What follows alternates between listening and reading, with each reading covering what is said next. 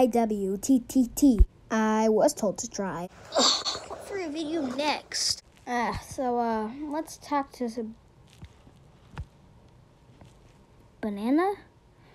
Also, can you read the first Harry Potter book and review it? I don't want to do this, but I, I have another Harry Potter book. It's so weird. Walk down a Go sidewalk. read the, Just like the a simple Harry idea. Potter series. I will do it. not die of stage So, uh, three yeah. cancer.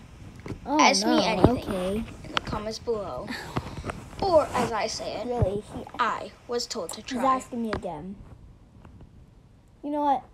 I'll just read the tales of Beedle the Bard. I wasn't really feeling like this, but here comes Banana in here. He wants me to review a Harry Potter book.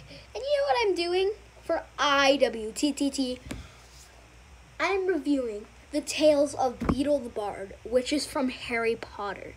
That's how epic I am. My room, Harry Potter themed. Me, Harry Potter fan. Harry Potter book. Me read Harry Potter book. Let's do this. So this is Tales of Beedle the Bard. This is so cringy. Okay. Okay, let's do this. The Tales of Beedle the Bard.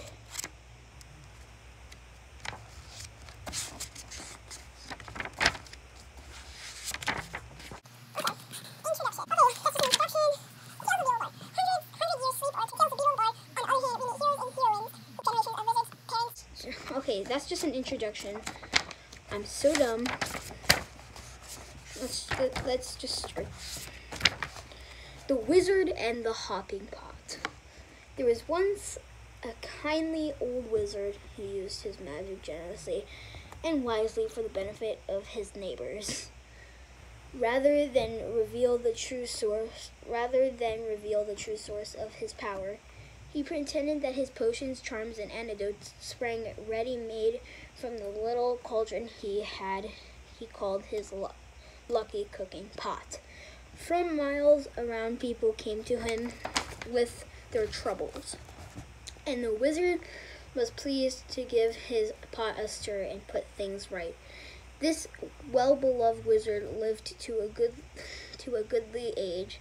Then he died, leaving all his chattels to his only son.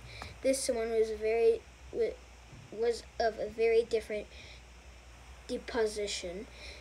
To his gentle father, those who could not work magic here, to the son's mind worthless, and he had often quarreled with his father's habit of dispensing magical aid to their neighbors.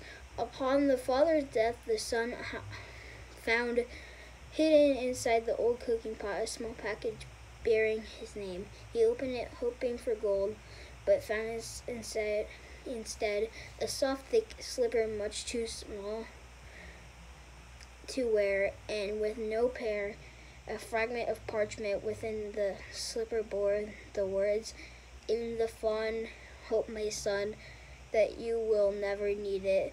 The son cursed his father's age softened mind then threw the slipper back into cauldron into the cauldron resolving to use it henceforth as a rubbish pail. That very night, a peasant woman knocked on the front door.